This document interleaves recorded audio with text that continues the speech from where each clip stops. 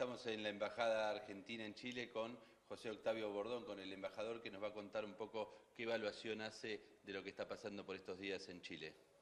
Antes que nada, lo que conversé anoche con, Nacho y con Federico, que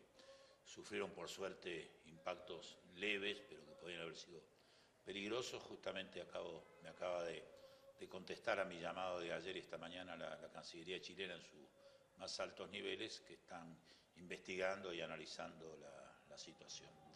Eh, yendo a la situación en general, eh, yo diría que el momento actual, yo hoy por distintos temas tuve que estar saliendo muy temprano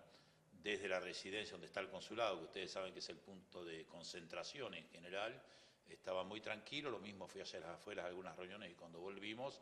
en este momento ya hay alguna concentración que estaba previsto de la Central Unida de trabajadores que también se hace en Plaza Italia, 50 metros de nuestra residencia y nuestro consulado, no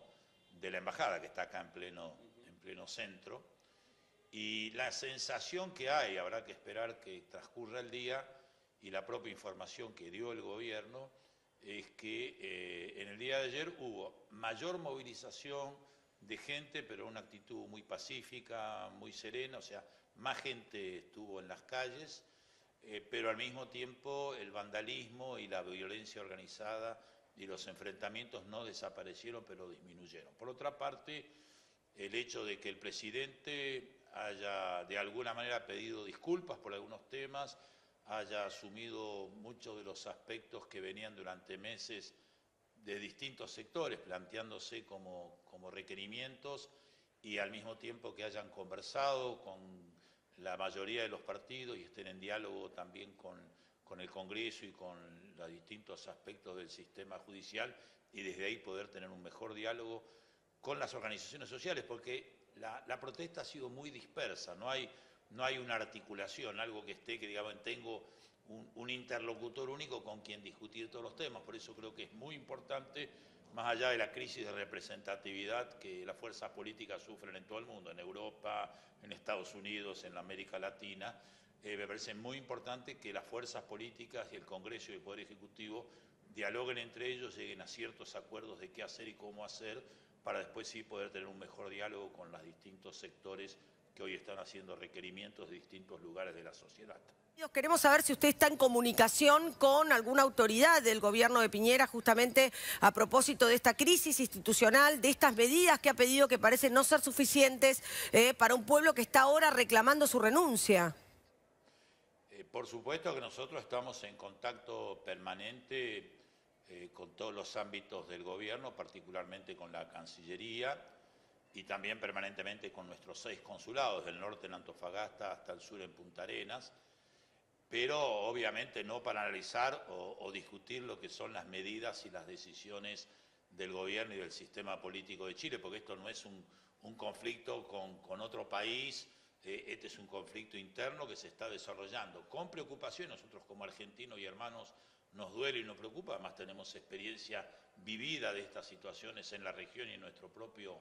eh, país. Eh, tenemos nuestras opiniones, pero obviamente no son parte de las conversaciones. Como recién tuve una cuando estábamos, y por eso retrasamos un poco la salida, me llamaron de Cancillería para decirme que de acuerdo a lo que habíamos hablado, se estaban ocupando ya de exactamente de la responsabilidad que pudiera haber habido en el caso de los dos impactos que recibieron este, tanto este, Nacho como, Federico, pero son esos los temas que conversamos. Y además tratamos, hoy tuvimos una reunión de dos horas con con legisladores de oficialismo, oposición y Gintán, que estaba prevista eh, con, varios de los embajadores desde hace más de un mes y por supuesto la hemos tenido, pero en los temas internos obviamente nosotros no debemos ni podemos opinar. Por las conversaciones que usted tiene con el gobierno de Chile, eh, ¿existe alguna preocupación? A ver, el, el, conflicto, lo que estalló en Chile, tiene origen en circunstancias económicas y sociales de Chile.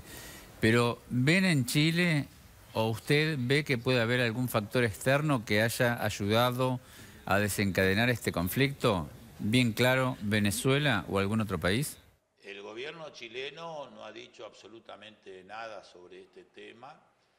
Eh, grupos minoritarios, pero muy activos y especializados con distintos orígenes por la información que tenemos, eh, han venido actuando durante todos estos años cada vez que ha habido algún conflicto por demandas sociales acá o cuando ha habido algunas demandas de, pueblos originales, sobre todo en el centro del país, inclusive la embajada nuestra sufrió un ataque en ese momento y no eran, no eran pueblos originarios los que entraron y rompieron y quemaron un auto dentro de nuestra eh, residencia, sino que eran claramente eh, activistas eh, bastante alejados de, las demandas del pueblo mapuche o de otras comunidades. yo digo, lo que es la protesta de la gente, que además cada día no solamente se manifiesta más pacíficamente, sino explicita. Ustedes han estado en contacto con ellos diciendo no queremos saber nada con la violencia, la violencia eh, desnaturaliza y deslegitima, hacia que esto ha crecido. La gente no quiere que se confunda su demanda democrática que la quieren resolver en el marco de la democracia con estos grupos. Ahora, estos grupos a veces tienen origen del anarquismo internacional, a veces pueden tener eh, orígenes en sectores democráticos, perdón, antidemocráticos de la región que busquen aprovechar, pero la movilización no. Lo que pasa es que declaraciones como la del señor Maduro y el señor Diego Cabello, totalmente desubicadas, eh, intentan hacer aparecer que hoy tienen una influencia en la región que no la tienen, que no la tienen. El principal hoy no es lo que dice el señor Maduro, es lo que le pasa a Venezuela. En Venezuela desaparecen y mueren miles de personas por la acción del Estado. En estos países como el nuestro, como Chile, cuando hay un exceso a la autoridad, hoy está el Instituto de Derechos Humanos de Chile haciendo la investigación de las propias fuerzas de seguridad de Chile para saber si han actuado correctamente en defensa de la sociedad y de la propiedad de la gente y los bienes públicos que han sido destruidos, o si no han actuado con la profesionalidad que supone y sancionar. No se pueden comparar esos hechos, aunque nos duela mucho lo que pasa en Venezuela y nos duela lo que pasa en Chile, pero no se pueden comparar las dos situaciones.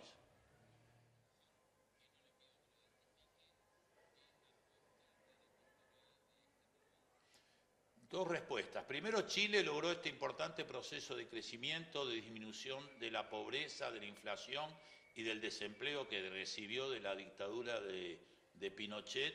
en el marco de políticas públicas de un consenso y de cinco gobiernos, cuatro ellos de la concertación, desde la democracia cristiana, el socialismo, el PPD y el radicalismo, y el primer gobierno de Piñera. Eso terminó la transición que fue exitosa. Hay una nueva sociedad y tanto el gobierno de Michelle Bachelet como el gobierno de Sebastián Piñera, aunque no coinciden en el tipo de medidas, coinciden que esa etapa terminó exitosamente, pero que tiene nuevas demandas y algunas situaciones pendientes que en un crecimiento muy alto pudieron ser resueltas sin demasiada preocupación por la, por la distribución a medida que pudieron incorporar sectores sociales, mejorar la educación, mejorar el transporte público, modernizar el país, pero que hoy